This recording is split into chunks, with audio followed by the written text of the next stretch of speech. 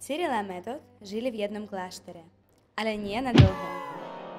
Počasie sa hneď stalo takým istým, ako aj nálada Cyrila a Metoda. Začali plakať, lebo bolo im veľmi smutno. Vyšlo slnko a začali vymyslieť niečo užitočné. Jaj, lietajúca mašina!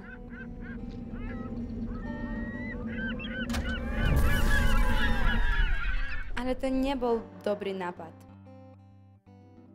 Nič sa nedieje, urobíme niečo ešte. Napríklad to, čo by mohlo jazdiť po zemi.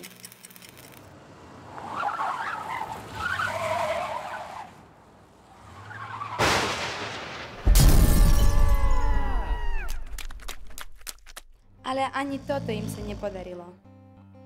Cyril bol veľmi unavený a išiel spať. Kde som? Čo som? Snívam?